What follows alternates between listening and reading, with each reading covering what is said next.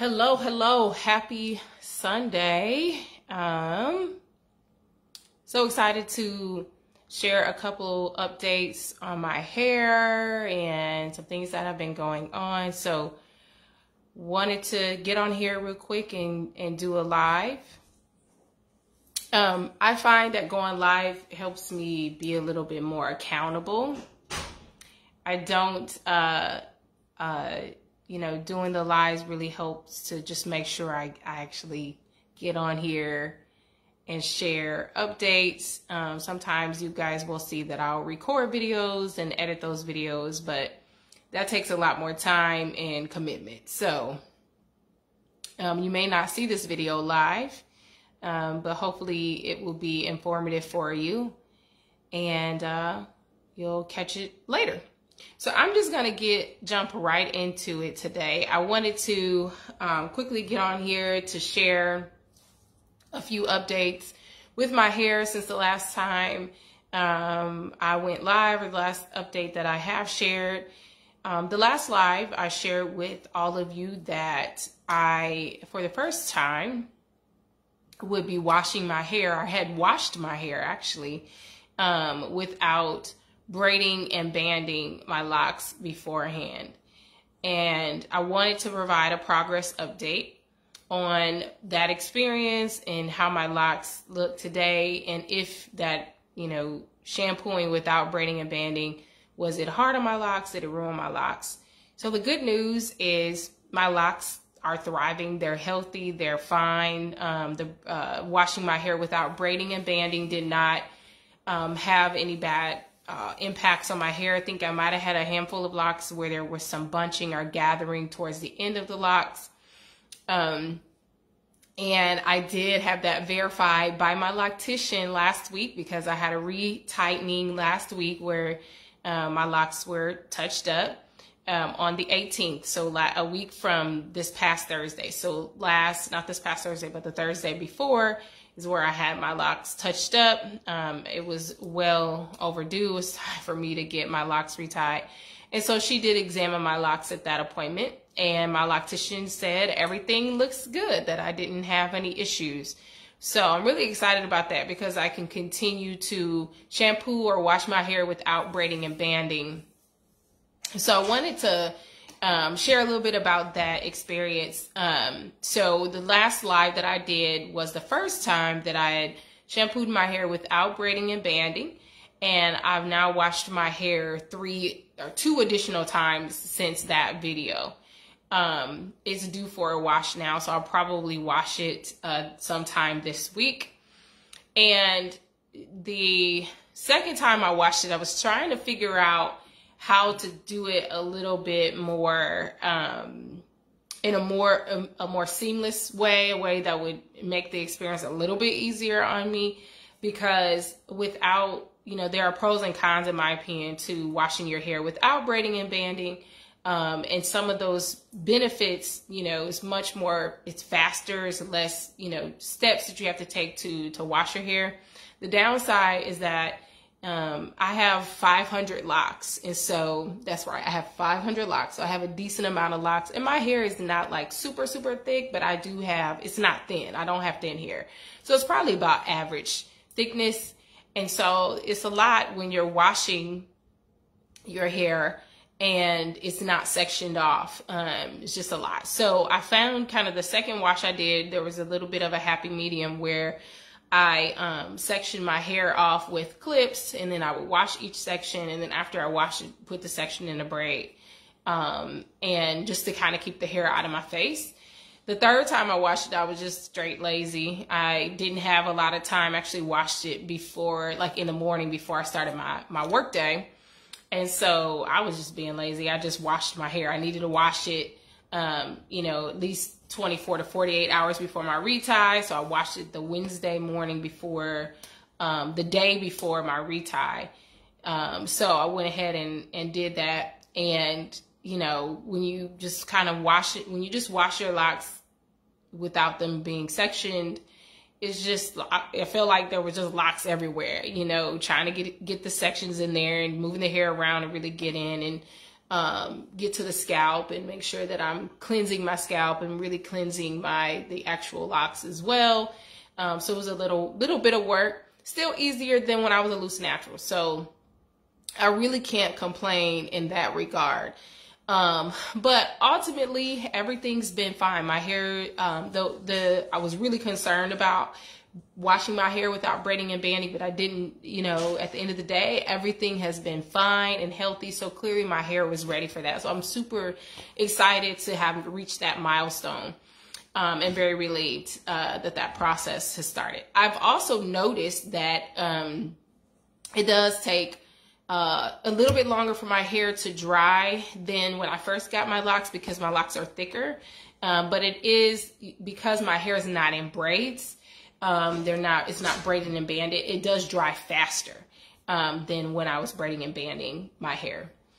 So wanted to share that. The other thing I wanted to jump on here really quickly to share is I did not um, provide kind of my lockiversary for this month. Um, my lockiversary was actually on the 18th of August. I hit my 19th month of having sister locks on the 18th of August, and it's been a little crazy. Um, life has been very busy with uh, kids going back to school and some stuff for me with work and just a lot of different um, activities and things going on. So I had not taken the time yet to um, provide an update on my lockiversary, but I did hit 19 months. Whoop, whoop, whoop. Hit 19 months on um, August 18th. And my hair, you know, in terms of any differences, there's just not a lot of change since last month. It really is a lot thicker. Um, you know, each month I'm noticing it's it's gotten it, it is getting thicker. The the locks have really started to swell.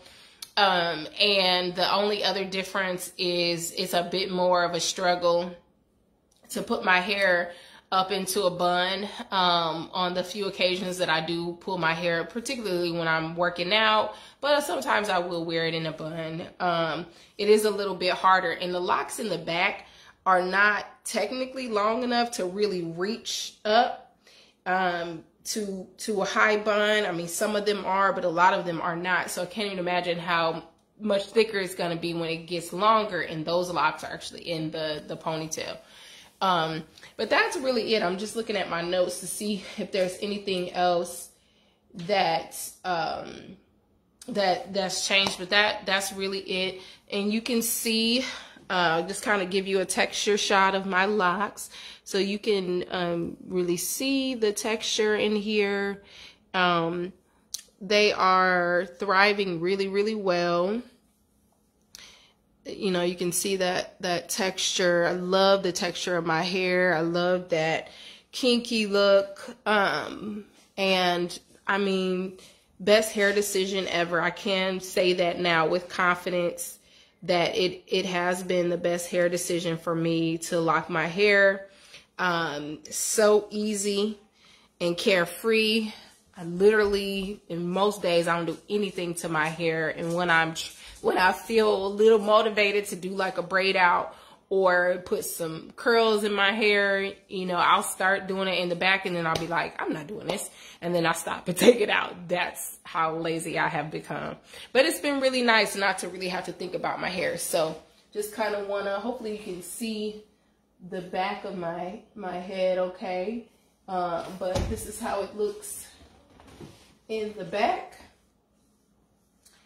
Um, and this side, I usually, in terms of how I style it, I mean, I usually wear it like this. Um, there's just not, not a lot that I do. I usually keep the same side part and wear it like this. Occasionally I'll wear it to the other side. I still do have some locks in the front that have quite a bit, I mean, just a little bit of that heat damage left. You can see some of these where, like this is a really good example of where that hair, um, like this is just not gonna lock. It's damaged.